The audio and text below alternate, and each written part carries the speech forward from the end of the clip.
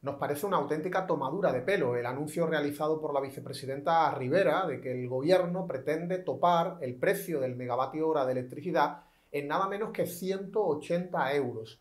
Esa es la cifra que ya estaba regulada hasta julio del año pasado. Es el importe máximo que se estableció en 1998.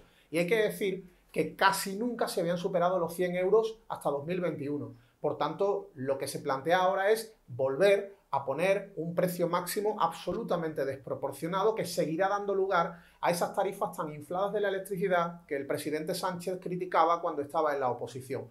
Nosotros hemos reclamado un máximo de 50 euros el megavatio hora de electricidad. Es una cifra totalmente viable para que el sector funcione y gane mucho dinero, porque está muy por encima del coste de producción de la eólica, la nuclear, la solar, la hidráulica. Solo se vería perjudicado el gas y ahí se le podría compensar perfectamente con una pequeña cuantía del sistema eléctrico. No hace falta irse a un importe tan desproporcionado como el que se plantea ahora, que lo que vendría es a seguir perpetuando una tarifa inflada para los consumidores y no resolveríamos el gran problema de fondo, y es que nuestra subasta propicia la especulación y que haya empresas en el 75% de la producción que se esté lucrando en exceso en estos momentos.